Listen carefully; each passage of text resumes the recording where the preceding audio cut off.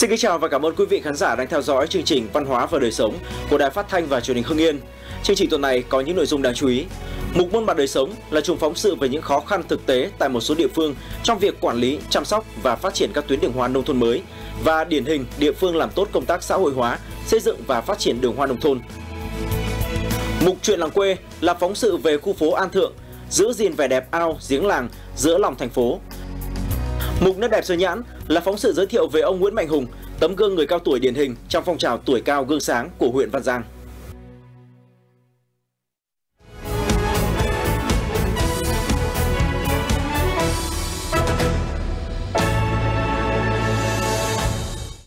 Thưa quý vị, trong quá trình thực hiện tiêu chí đường giao thông nông thôn của chương trình xây dựng nông thôn mới, nhiều địa phương trên địa bàn tỉnh Hưng Yên đã xây dựng các tuyến đường hoa để các tuyến đường nông thôn mới trở nên đẹp hơn.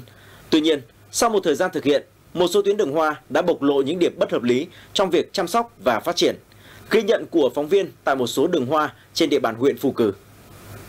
Đây là một đoạn đường hoa thôn Đoàn Đào, xã Đoàn Đào. Trước đây, đoạn đường này được trồng hoa trường tím cùng với các bồn hoa giấy. Tuy nhiên, sau một thời gian, nhận thấy đường hoa trường tím không phù hợp, thôn buộc phải phá bỏ. Cái tuyến đường hoa chiều tím trước kia thì, thì chúng tôi trồng ấy thì thấy nó có lợi ích trước mắt là nó đẹp. Sau cái lợi ích đấy thì nó lại có một cái tác hại, tức là chuột ở mà địa hình thì là trồng lúa cho nên là, là chúng tôi cũng không phát triển nữa phá bỏ đoạn đường hoa chiều tím, thôn Đoàn Đào còn lại đoạn đường hoa giấy dài khoảng 1 km được trồng trong các bồn cây và cắm cọc bê tông cẩn thận. Tuy nhiên đường hoa này hiện cũng đang gặp không ít khó khăn trong việc chăm sóc. Chăm sóc cái đường hoa này thì cũng vô cùng vất vả khó khăn vì là cái cột thì à, ngày đấy rồng là trôn cao. Đi làm là phải mượn thang thì mới được cắt tỉa được cây. Được cây giống thì ngày xưa đấy là nó là giống cũ hay sao ấy, nó không có hoa mấy. Nó chỉ à, phát triển nhiều lá, nhiều cành. Chả có cái nguồn kinh phí nào hỗ trợ chị em ở chăm sóc ở cái đường hoa ấy cả. Thế cho nên là chỉ có hô hào chị em đi làm vào những ngày chủ nhật xanh thôi. Thế nhưng mà chị em thì cũng chỉ được một số người thôi, còn đâu các chị thì cũng rất bận còn đây là đoạn đường hoa trên địa bàn thôn Trần Thượng, thị trấn Trần Cao. Cả hai bên đường đều có đường hoa chiều tím, cây phong linh và hoa giấy. Thế nhưng cũng như tại thôn Đoàn Đào, công tác trực tiếp chăm sóc, cắt tỉa và duy trì được vẻ đẹp của đường hoa cũng là một trong những điều khiến cho những người quản lý đau đầu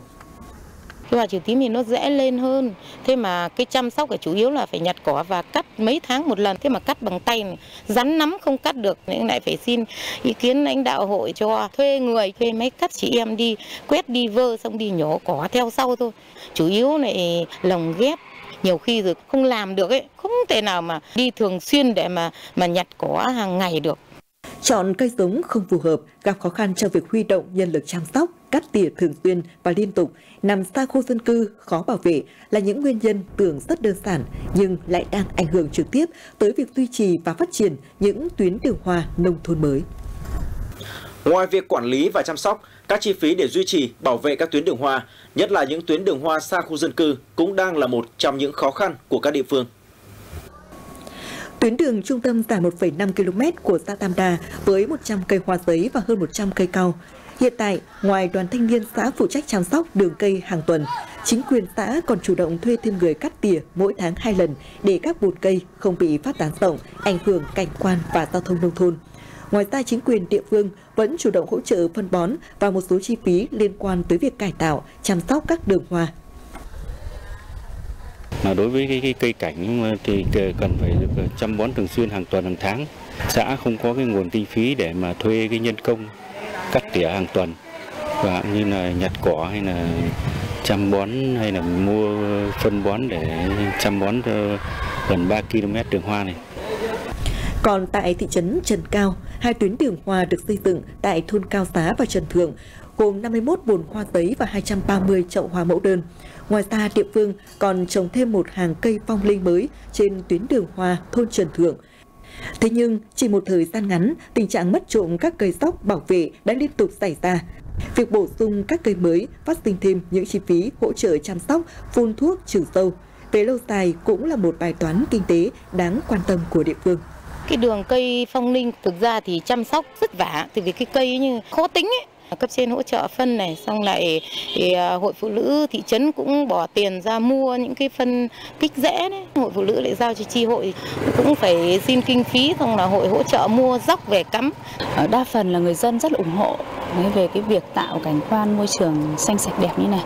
Thế còn thì bên cạnh đó thì còn một vài người dân là cũng chưa có ý thức cao. Cho nên là việc à, ví dụ như mất những cái à, cây mà mình trống này, thì chị em cũng lại phải khắc phục là khi mà à, có hiện tượng thì chị em sẽ phải cắm lại. Thế và khu này thì cũng hơi xa khu dân cư, cho nên việc mà nhờ những người dân mà thường xuyên để mà tưới, mà chăm sóc thì cũng gặp khó khăn. Nên là chủ yếu là do cán bộ hội là chủ động cũng mong là cái việc mà trồng khi mà những cái cây hoa nó lên nó đẹp như này đấy thì ý thức của người dân mình sẽ được nâng lên trên thực tế, các đường hoa nông thôn mới đều là của chung, cũng khó tránh khỏi tại một số địa phương tình trạng bị đối tượng xấu trộm cắp, phá hoại cây, cũng như các chi phí chung để quản lý, duy trì và chăm sóc sẽ phát sinh. Để có thể phát triển đường hoa được lâu dài cũng là bài toán dành cho mỗi địa phương. Bên cạnh những khó khăn thì cũng không thể phủ nhận ở nhiều địa phương khi được người dân hiểu, đồng sức, đồng lòng, các tuyến đường hoa đều trở nên sạch đẹp, tạo nên cảnh quan môi trường đáng sống cho làng quê. Ghi nhận cách làm của thôn Cự Phú, xã Tam Đa, một trong những thôn làm tốt công tác xã hội hóa trong việc xây dựng và chăm sóc các tuyến đường hoa nông thôn mới của huyện Phú Cử. Ở gần khu vực có đường hoa nông thôn mới, mỗi chiều bà Ngô Thị Vốn ở thôn Cự Phú, xã Tam Đa đều tự giác đi tưới hết tất cả các bồn cây. Nhận thấy có tình trạng cỏ mọc nhiều dưới tán cây gây mất mỹ quan, bà vốn còn chủ động đề xuất với hội phụ nữ thôn đi tìm những cây tán thấp có bụi trồng phía dưới. Tôi đi kiếm cái cây lá đỏ này dòng vào à, chân này để cho nó à, vừa giữ được cái độ ẩm vừa nó là cái cánh của nó là lá ra nó lại đẹp và nó lại không mọc quá bản thân tôi tự tôi là chăm sóc cái đường hoa này ngay lúc đầu mới dòng là thôn chưa phân công cho ai cả nhưng là mình là tự giác để ra để chăm sóc để cho nó đẹp cái cảnh quan của môi trường.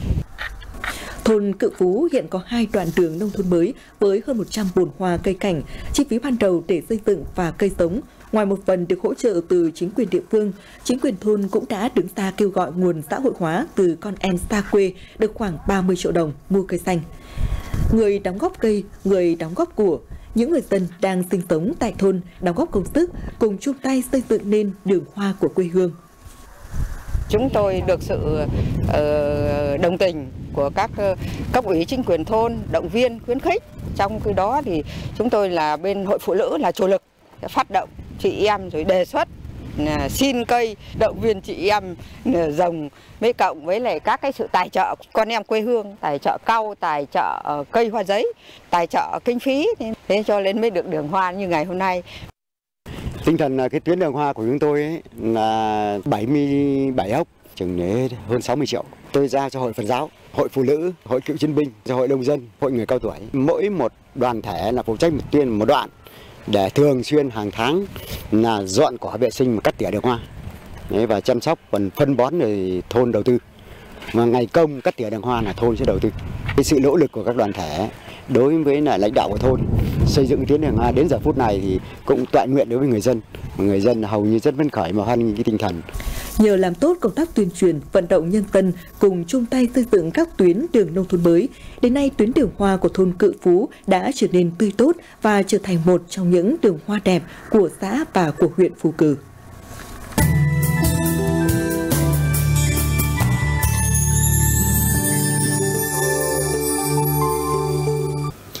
Thưa quý vị, nằm ngay trong khu vực thành phố Hưng Yên, nhưng khu phố An Thượng thuộc phường An Tảo lại giữ được những không gian xưa của làng quê Việt. Đặc biệt, ngay tại trung tâm thành phố, hệ thống ao, giếng làng vẫn tồn tại, được người dân nơi đây giữ gìn và bảo vệ. Một buổi dọn vệ sinh môi trường quanh khu vực ao và giếng làng của người dân khu phố An Thượng. Từ lâu, đây đã trở thành hoạt động thường xuyên hàng tuần của người dân nơi đây để khu vực này luôn được sạch sẽ, phong quang. Cha ông của chúng tôi trên địa bàn là đã gìn giữ được đến nay thì đến thế hệ chúng tôi là vẫn uh, duy trì và à, giữ được cái nét đẹp của khu phố và hàng năm cải tạo lại ao cho thứ nhất là sạch sẽ để các cháu mùa hè có thể là ừ, tập bơi để tránh đuối nước Tại khu phố An Thường hiện có hai giếng làng cũ và một ao làng mới được cải tạo. Chẳng ai nhớ rõ tiếng làng đã có từ bao giờ, nhưng ai cũng hiểu đây là nơi linh thiêng và cần được bảo vệ. Những người dân gốc nơi đây luôn có ý thức gìn giữ và duy trì bảo vệ giá trị văn hóa không gian nơi đây. Những người dân nơi khác tới đây ngụ cư cũng theo đó mà có ý thức bảo tồn và gìn giữ không gian tiếng cổ. Qua quá trình thời gian, dân cư chúng tôi đã tu sửa để giữ gìn cái cảnh quan môi trường khu dân cư. Ờ, nhân dân chúng tôi ý thức được rằng cái ao, cái giếng trong khu dân cư là rất quan trọng. Nó tạo cái cảnh quan môi trường và nó là lá phổi của khu dân cư. Ý thức được như vậy thì hàng tuần chúng tôi coi là tổ chức cho các đoàn thể dọn vệ sinh ở đường làng ngõ phố, dọn dẹp vệ sinh xung quanh các uh, giếng làng và ao làng và phong trào của nhân dân là tham gia là rất nhiệt tình. Chúng tôi cũng đã cùng với nhân dân gìn giữ giếng cổ, đình nàng, cái ao nàng thì có một cái không gian, có một cái chỗ sân chơi về mọi mặt của đời sống xã hội để ờ,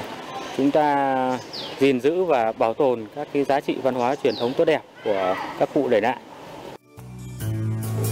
Cây đa tiếng nước dân đình vốn là hình ảnh của làng quê Việt xưa. Hiện nay, tại nhiều vùng quê, dưới tốc độ của đô thị hóa, hình ảnh này cũng đã không còn. Thế nhưng, nếu có dịp đến thăm khu phố An Thượng, phường An Tảo, quý vị sẽ được dạo bước trong sân đình, ngồi dưới gốc cây đa cổ thụ, rửa tay trong làn nước trong sạch của giếng làng, cảm nhận lại hương vị quê xưa, an yên giữa lòng thành phố.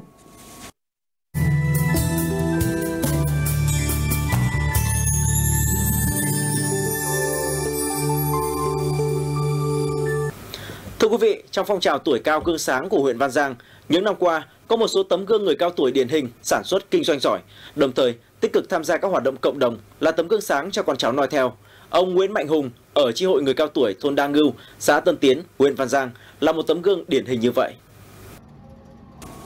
Mặc dù năm nay đã ngoài 60 tuổi, song ông Nguyễn Mạnh Hùng vẫn tham gia công tác tại Hợp tác xã Điện, xã Tân Tiến với vai trò là giám đốc, hơn 20 năm là chủ nhiệm, sau này là giám đốc Hợp tác xã Điện. Ông Hùng luôn thể hiện tinh thần trách nhiệm, tận tâm với công việc, có nhiều đóng góp vào sự phát triển của Hợp tác xã nói riêng và Điện lực Phan Giang nói chung. Hiện nay, Hợp tác xã Điện xã Tân Tiến đang bán lẻ điện cho gần 4.000 hộ dân ở xã Tân Tiến. Đây là một trong số ít hợp tác xã điện trên địa bàn tỉnh vẫn còn duy trì và kinh doanh tốt. Dù tuổi cao, song ông Nguyễn Mạnh Hùng luôn sâu sát, thường xuyên trực tiếp xuống cơ sở để hướng dẫn chỉ đạo nhân viên đảm bảo việc cung cấp điện ổn định và an toàn cho các hộ dân. Anh à, Hùng thì là một à, lãnh đạo tuy rằng tuổi nó cũng đã khá cao nhưng mà rất là nhiệt tình trong công việc bác đã đi sớm về muộn về sát sao với công việc thậm chí có những hôm là sự cố về đêm những hôm mưa gió là sau sự cố mà sấm sét đánh à, đường dây thì bác cũng đã cùng với anh em để khắc phục kịp thời để cho nhân dân tức là có điện một cách sớm nhất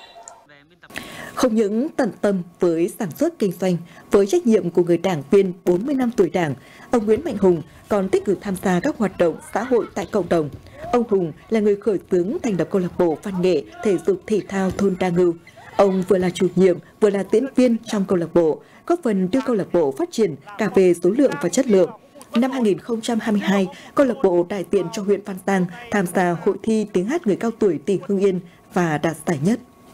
thực hiện tổ chức hoạt động sản kinh doanh nhưng đồng thời cũng là tham gia cái hoạt động của người cao tuổi để nhằm mục đích ờ, là tuyên truyền ờ, giáo dục và cũng như vận động quần chúng để mà thực hiện những cái chủ trương chính sách của đảng và nhà nước hai nữa là tuổi cao, thì cũng nên ra tham gia một số phong trào, gọi là văn hóa xã hội ờ, để làm để vui tươi, lành mạnh cuộc sống.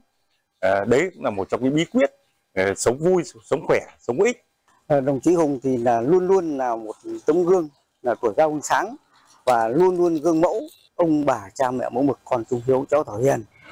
Và hoạt động các xã hội như là đóng góp ủng hộ các đường làng ngõ xóm, thường xuyên hàng năm là hợp tác xã và đồng chí Hùng cũng đóng góp số tiền là tương đối lớn